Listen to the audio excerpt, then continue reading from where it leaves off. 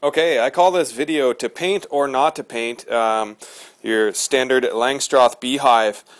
We have all the components uh, that you can see here on the floor.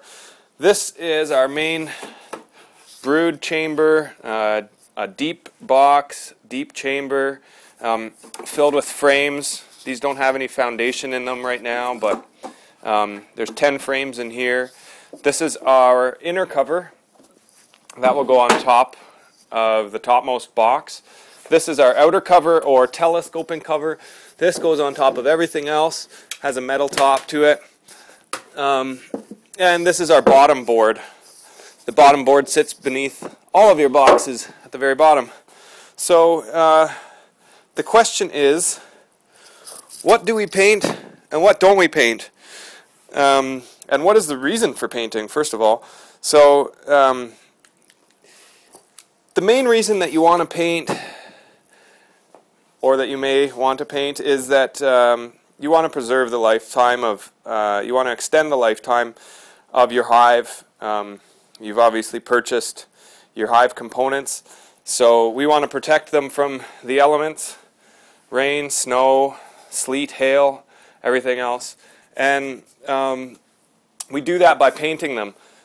Most most of this is made out of a softwood like pine, and that has a tendency to rot um, fairly easily. So if we protect it with paint and primer, then you can um, extend the lifetime of your your your woodenware. So what do we paint?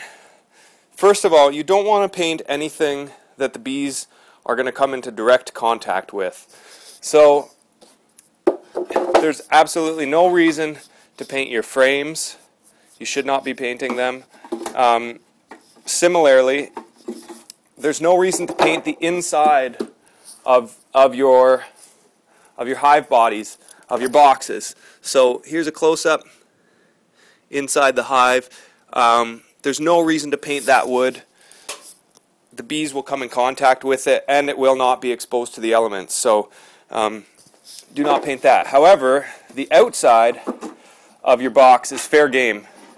So this surface here, including all of the end grain on your joints, should all be sealed with paint and that's probably going to be one of the first places to start rotting away because moisture will seep into the end grain of the wood and you want to seal that with a good primer and, and an exterior paint. For your inner cover, again, this is going to be inside the hive, so there's absolutely no reason to paint it. It's going to be protected by your telescoping cover. So um, you can leave that as is, and that should be fine. Um, as for your outer cover, you can see here it's partially protected by metal, but also partially exposed.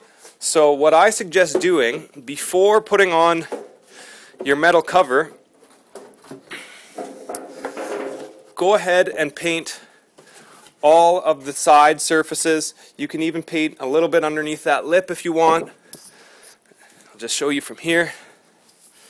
So paint all your side surfaces. You don't necessarily need to paint the top, but it's not going to hurt.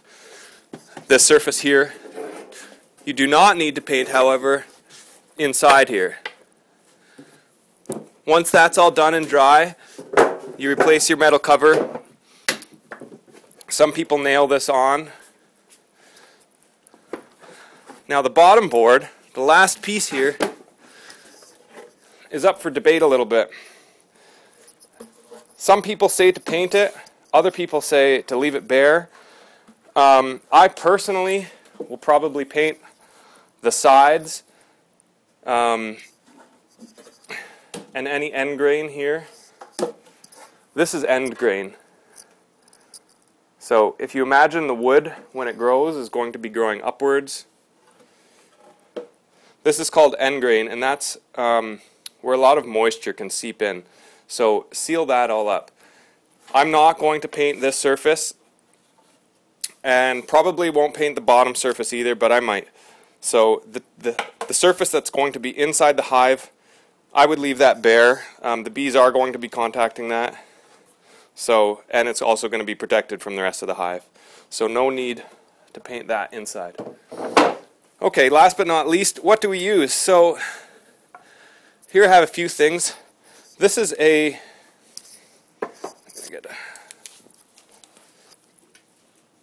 this is an all-in-one uh, primer and sealer.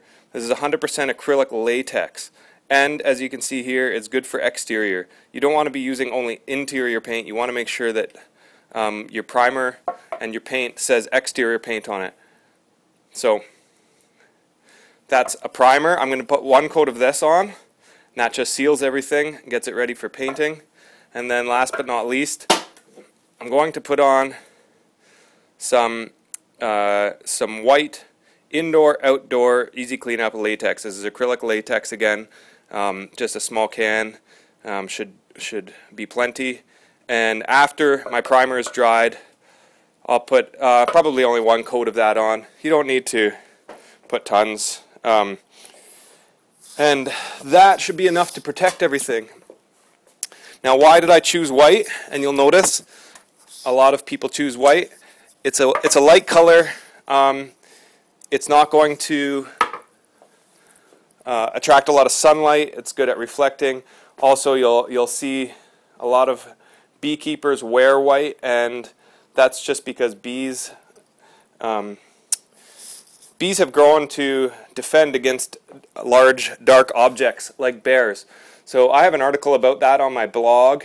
If you want to follow my blog, go to bees.chrisinch.com and learn more about beekeeping. And I hope that you found this uh, video helpful. If you have any questions, please feel free to leave some comments below and check out my other videos. Thank you very much. Bye.